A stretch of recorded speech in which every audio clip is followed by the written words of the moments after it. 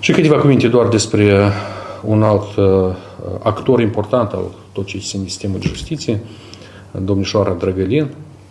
Eu văd că s-a activizat și devine din ce în ce mai uh, vocală. Uh, și mi se pare că devine deja puțin deranjantă, deranjantă, incomodă pentru pas și mai sunt.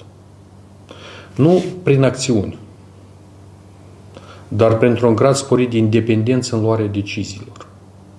Repet, Drăgălin straniu, dar dă dovadă de un grad de independență în luarea deciziilor separate, nu sub dictantul Maia Sandu.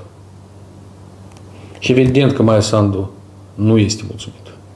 Evident că Maia Sandu deranjează prin independență și evident că îi crește ratingul. Eu vă spun mai mult, dacă, mai, dacă Drăgălin continuă așa cum a început, eu nu exclud că în câteva luni ratingul Drăgălina să fie aproape de ratingul Maia Sandu. Cei de pe dreapta au înțeles că Maia Sandu este o staticul grupărilor mafiotice, criminale, corupte de Maia Sandu, din pas. Și este parte acestor grupări. Justiție Grebencea, economie Spânu și alții, și asta este evident. Drăgălin este mai independentă și nu, încă nu este ostaticul acestor grupări. De ce?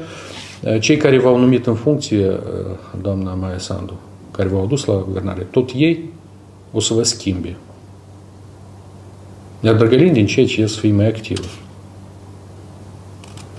Crâșa e mai serioasă.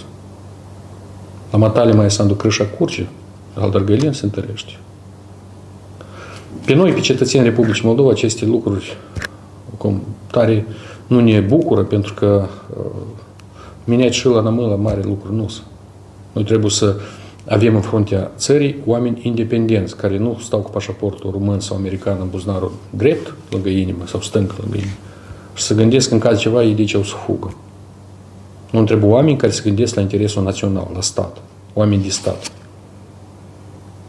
care vor să rămână în țară care se gândesc să facă viața mai bună aici, în țară, pentru că aici își vor crește copiii.